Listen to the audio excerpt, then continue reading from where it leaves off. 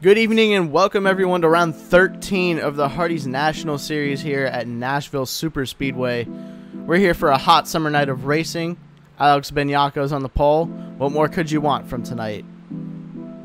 There's a PJ1 on the racing surface for the inside line tonight because of the outside being extremely grippy and the inside line being very slippery from weather over the past week or so.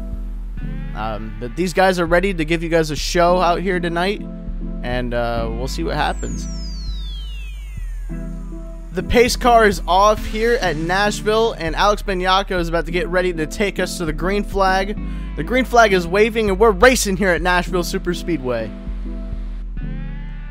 So far, Benyacko got the pretty good jump over Williams, but Bisceglia is right behind him. Same with Bradley Bishop Jr., the Mopar Dodge. And it looks like the 17's already looking low on Alex Benyacko. Making early moves here on lap one. Kyle Bisceglia takes the lead into turn three. It's that PJ1 down there that's working wonders for the 17 car. Bradley Bishop Jr. is just going to follow, with the 05 also following suit on that inside line. Considering this is a big track, draft is actually going to play an effect here, but not as much as it would at some other tracks. But uh, Kyle Bisceglia is leading over Bradley Bishop Jr. and Alex Benyacko now as he falls back to third. Corey Williams on the outside line back there in the Mobil 1 Chevy going down the inside of Alex Benyacko. Man, there's supposed to be some great racing here tonight because of that PJ1 strip that they put down there. Lap number three, Bradley Bishop Jr. is all over the back of Kyle Bisceglia. I think he might get it sometime soon here, but that car is really fast tonight. And there he goes down the inside. Bradley Bishop Jr. is going for the lead using the PJ1 strip to his advantage. Kyle Bisceglia fighting as hard as he can on the outside, but I don't think he can do it with that Mopar power under the 44's hood. The 44 is going to get it going into turn one, and he's going to clear him by a long mile. He just left him back in another county right there and Bradley Bishop Jr. is now leading at Nashville. Tim Fiegel is starting to make his way through the pack with Brandon Crosta and the Roush family racing Ford Mustang following right behind him. And Crosta looks like he's got some really good speed tonight as he goes down the inside of Fiegel. But I don't think he's going to get it this time. I think he made a move too early. But that 09 is looking really, really, really fast tonight. Keep an eye out for him. Taking a little note here, um, Dylan Schwallenberg, the 2017 Hardee's National Series champion, is back for United Emirates Racing on a part-time schedule as he's passing his old team, Curtis Racing, there. Um, but they're back on a part-time schedule. Uh, there were some very open races, and Rockstar wanted Dylan to get in the number 94 and pilot this thing and help that team out. Uh, United Emirates Racing, of course, is in a partnership with Yamp, and they get a bunch of resources from them. So this is really to help out their program, and I think having this champion behind the wheel is really going to help as he's climbing up through the field right now. I don't think anyone is going to catch these two guys tonight. I mean, just look at this gap to everybody else. It's absolutely ridiculous. Uh, you know, Bradley Bishop Jr. is just in another another zip code. And then Kyle Bisceglia is trying his best to keep up with him, but I don't think it's working because he's been at a steady four to three tenths every lap. And then uh, you just have everyone else back here with Tim Fiegel, who's made his way up. Brandon Crosta, who's basically followed Fiegel all the way up through the field. Corey Williams, Hannah Allen. And let's give a call to Edward Ziemba here. Uh, he's on a part-time basis for Rodriguez Racing, and he's done really good in his starts. So let's give a call to Edward Ziemba. He's running around 8th to 7th right now. Tim Fiegel is making steady moves all the way up to third place with Brandon Crosta following suit, then Edward Ziemba behind Crosta. Fiegel has basically just been leading this train of two or three cars the whole entire race. I don't know what it is, but the 09 is just stuck to the back of that 43 no matter where he goes. And Fiegel's teammate is up here just absolutely dominating, so maybe they have similar cars and setups. and Fiegel can get up there and challenge for the win tonight. While uh, Crosta and Ziemba are just following suit, uh, using that draft to their advantage and using the PJ1 grip to their advantage. As Ziemba go, tries to go down the inside of Crosta, but I don't think it's working too well. He's just going to lose grip going into the corner, and then Crosta's just going to pull away as Bradley Bishop Jr. is just absolutely stomping the field right now. Give a call to this team and this driver, really, for turning themselves around this year. Bradley Bishop Jr. kind of struggled in his first two years in the Hardee's National Series, but it seems that he's finally found his big break and he's showing off his true potential.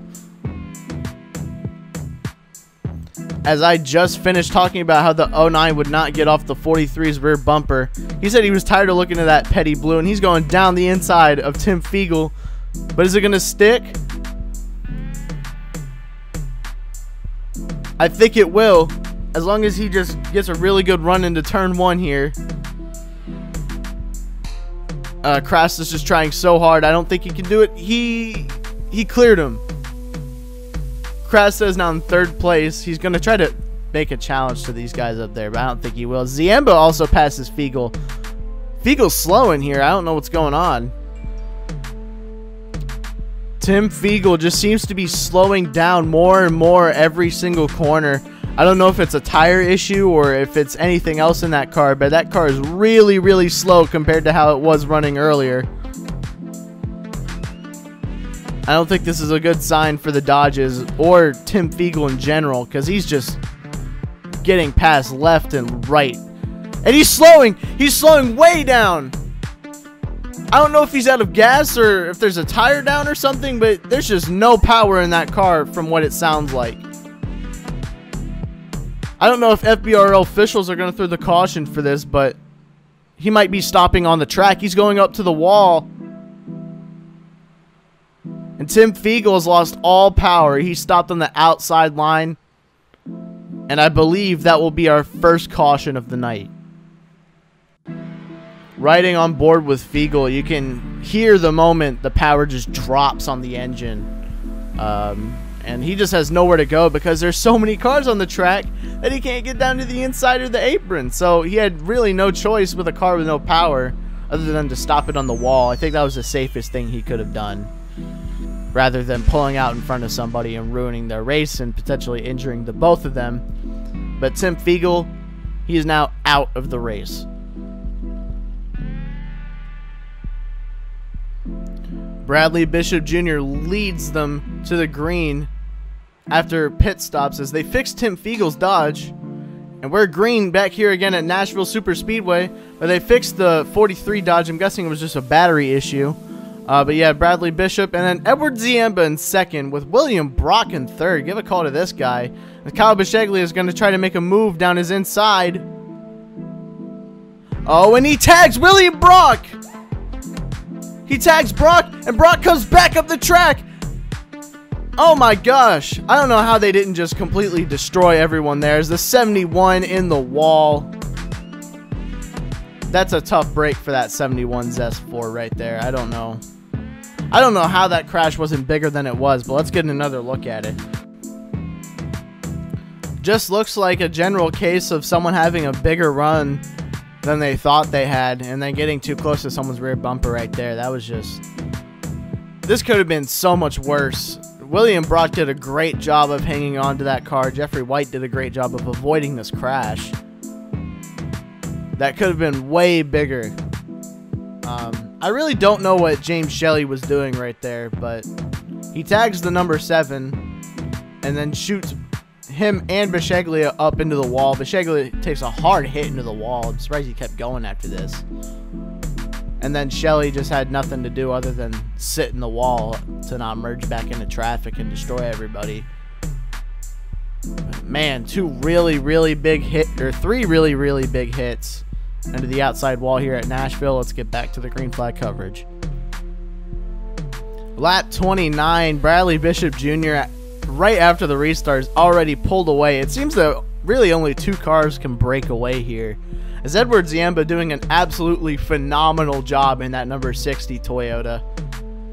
He's full time in the Napa Pro Series, but he's looking to move up. So someone needs to hire this kid full time because this is an incredible drive, and he's running down Bradley Bishop Jr. right now, as he no one's been able to touch this guy all day. Maybe Edward Ziemba can take a challenge to him down the inside. Oh, he just made his move way too early right there. But Bradley Bishop Jr. under pressure from Edward Ziemba here on lap 30. Look at this battle here between Ian Dutta, Dylan Schwallenberg, and Corey Williams. Ian Dutta coming back all of a sudden uh, out of Sony Cup Series retirement. He's coming back, and he's actually been doing really well in all of his starts for every team he's raced for. So, uh, give a call to the experienced veteran Ian Dutta, of course. You know, I think he has a few wins in the Sony Cup Series, so of course he's expected to perform, but not at the level that he's been performing at. This has been outstanding the way he's been racing here lately. While we weren't looking, Edward Ziemba stole the lead from Bradley Bishop Jr. and used his teammate Tim Fiegel as a pick. And Ziemba's trying to run away with it right now, but Fiegel looks like he's running Ziemba down for the lead. But give a call to this young rookie, man. This is absolutely incredible driving out of him. And hopefully Tim Fiegel doesn't get in the way of this battle because that would just be extremely unfortunate. Checking back in on Kyle Bisceglia. He is not doing too well right now. This damage is affecting him so much. He's essentially in last right now. And I don't think there's any chance of them fixing this car up to get back to being competitive. Because uh, the amount of aero damage on the back end you see there. But what a tough break for the 17 because he was doing so well tonight. And this is just not the night they needed. Right now, Fiegel is caught back up to Edward Ziemba, bringing his teammate Bradley Bishop Jr. with him. This race really lies within the hands of Tim Fiegel right now, because if he passes Ziemba, Bishop Jr. can get on by. But if he holds up Bishop Jr. up too much, then Bishop could lose the race. So essentially, this race lies between this 43, 44, and the 60 right now. Sean Angel's just lurking back here, hoping for these three to make a mistake. But hopefully, um, the 43 doesn't ruin the chances for either of these guys here tonight. Scott Roush in the number three Loves Camaro has gotten by Sean Angel here for third place.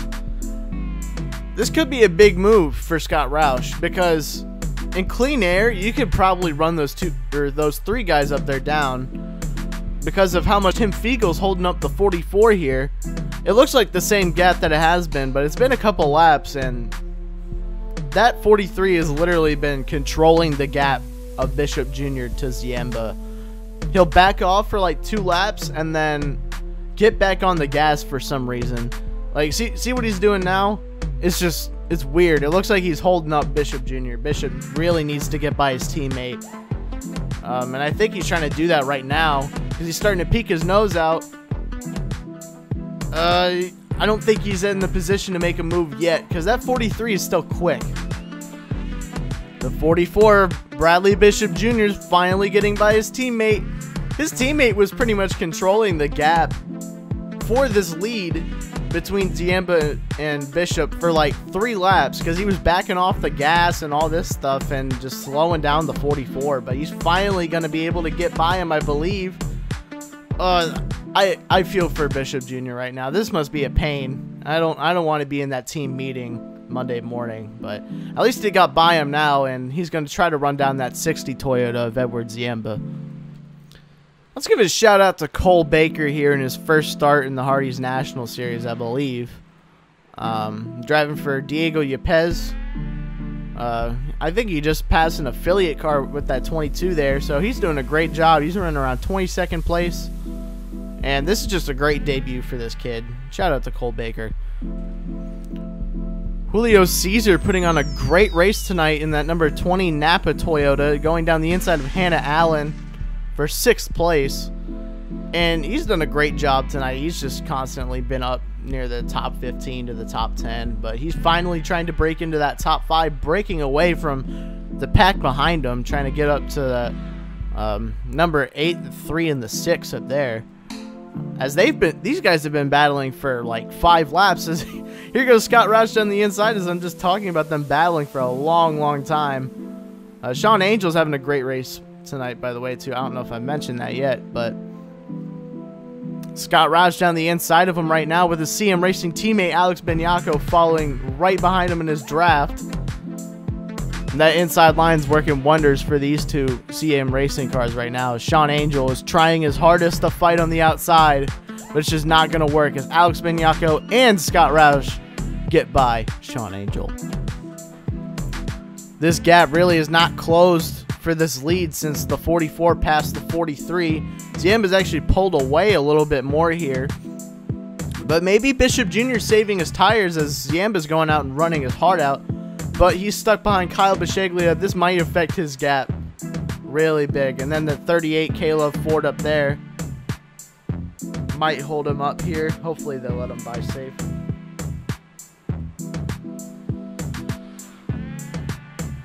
As yeah, there he goes. He gets by the lap cars. Bradley Bishop Jr. is gonna have to deal with these guys now. Man, these lap cars have been a nuisance every week in the FBRL for the leaders. The 44 stuck behind Kyle Bisceglia. He's pushing him through the corner right there. I don't know how he didn't just spin him out. And there he goes down the inside. The 44 Bradley Bishop Jr. finally clears the lap cars. This one's following suit. Tim Fiegel, I don't know. This could have been a great night for him. He would be third place if he was in the lead lap right now. This is just a shame, but at least he's getting to run at the front. And at least he's, you know, still running in the race. I think we're about to come near some green flag pit stops because a bunch of lap cars just pitted. And yeah, here comes Ziemba actually down, coming into pit road. It's really ironic that I just talked about that, but the leader, Edward Ziemba, down pit road. Following suit is Alex Benyacko, Scott Roush, Sean Angel, Hannah Allen, and a bunch of these slower cars are also on pit road. But maybe my theory of uh, Bradley Bishop Jr. saving his stuff was correct because he's staying out right now. And Tim Fiegel's following him. I think. Oh, never mind. He didn't save that much more then. Uh, but I believe Tim Fiegel, I think they're just using as their little strategy pick. But uh, Bradley Bishop Jr. and I believe the rest of the field are coming down. Edward Ziemba might just have a winning strategy here as he has blown Bradley Bishop Jr. away after this pit stop. I think Sean Angel's in second now. Yeah, Sean Angel's in second. Bradley Bishop Jr.'s all the way back here, four seconds behind Edward Ziemba, but he does have that one lap newer tires. And that could play into effect with this strategy a little bit because tires matter so much as Julio Caesar going down the inside. And there's a caution! The Zero had been blowing up for almost a whole lap and for some reason decided to get back up onto the track and dump oil onto it. And then these poor guys behind her just uh, like they didn't have anywhere to go because of the oil on the track. There's this this big wreck came from it. Uh, I think like a bunch of cars piled into this. Unfortunately, Cole Baker did. Uh, he was having a great run tonight. James Silverfox gets by. Uh, but there should be more guys piling into this wreck here. Uh, yeah, there's the 80. Uh, 22 just barely gets by it. Uh, this is just the extremely strange wreck as a... Oh my god, I think Coven Black just barely hits him here. As he's stopped in a really weird area, the 98 gets clipped. The 30, 36 gets clipped as he finally gets off of the track. And luckily, the leaders weren't damaged from any of this, but that was a massive, massive wreck resulting in a lot of DNFs. It was just very, very strange wreck. This restart is about to be a complete mess.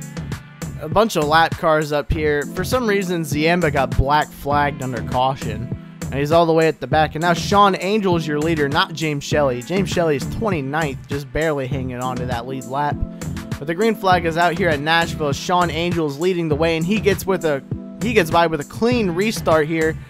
As oh my gosh, Kyle Bisceglia and everyone else is just holding up the rest of the field here. This could be a great opportunity for some slower mid-pack cars to get up into this top 10 here, but uh, as the lead stands, Bradley Bishop Jr. still incredibly fast, trying to get by Sean Angel here. Sean Angel going to try to get redemption for Rodriguez Racing, considering the 60 was probably their fastest car tonight, and he got a black flag, or he had some mechanical issues because he's running way off the pace back here. So it might have been an engine issue under caution for the number 60 of Edward Ziemba, but uh, leading right now is his teammate Sean Angel, Bradley Bishop Jr. trying to run him down. Julio Caesar right there in third place. That's another Rodriguez racing car, I believe. Bradley Bishop Jr. is just hounding Sean Angel. I believe he's going to get the lead here at any moment, considering he's so fast. But I think he's making moves in the wrong places right now. seems like his best corners is three and four because he always gets a run off of them, but he can't really do anything with it because the run dies down the straightaway. But he's incredibly quick and he can get the lead here at any moment. If Julio Caesar doesn't start interfering with this battle, that would be a great uh, upset winner tonight in general because this race has been dominated by like three people. So if Julio, if Julio Caesar can pull this off, then that would be an incredible, incredible accomplishment. Bradley Bishop Jr. has been hounding Sean Angel for last, but I think he's finally going to get him here. Oh, he uses the bumper on Sean Angel to move him out of the way, and Bradley Bishop Jr is going to try to take the lead here down the back straightaway. He's not clear yet. They're still side by side. Uh, he's just so good in 3 and 4. I don't think anyone could stand a chance with that one. But Sean Angel loses the lead. Now he's battling side by side with his teammate Julio Caesar. While Bradley Bishop Jr., this might be his best chance to just pull away and win as there's a lap car up here of uh, Alexander Rowe. but um, Bradley Bishop Jr. pulling away so much already from Julio Caesar, Sean Angel, and Tim Fiegel, and he already gets around Alexander Rowe. Rowe's going to hold up these guys and bring this main pack back into them. This might be Bradley Bishop Jr.'s race to lose at this point, unless we get a late race caution. Well, even that, I think, would end the race at this rate, so Julio Caesar better start putting the pedal to the metal if he wants to win this race coming to two laps to go. Bradley Bishop Jr. has got this race completely won. If as long as he just doesn't make any mistakes or no engine failures come into play, this will be his, I believe, second win on the season. Julio Caesar running great back here in second. Uh, Corey Williams in third. He's having an incredible season. Ian Duddock coming up here passing Jack Porkins. Jack Porkins with a great run. Marchese going down the inside. Sean Angel back here. Heartbreak for him. Max Ludger trying to go down the inside of James Shelly here. The number 90 of Paul Jackson, I believe. Uh, and then there's J.J. Roberts and Dylan Schwallenberg here. Well, Jeffrey White's right behind him, but Dylan Schwallenberg is in 11th place. Give a call to the 2017 champion in his comeback race as the white flag is out. Bradley Bishop Jr. is leading the way as there's pit stops going on. But Bradley Bishop Jr. is leading the way here coming down turns three and four as Tim Fiegel gets by Julio Caesar, but that's not going to matter. Bradley Bishop Jr. coming down the front straightaway. Bradley Bishop is going to win at Nashville Super Speedway.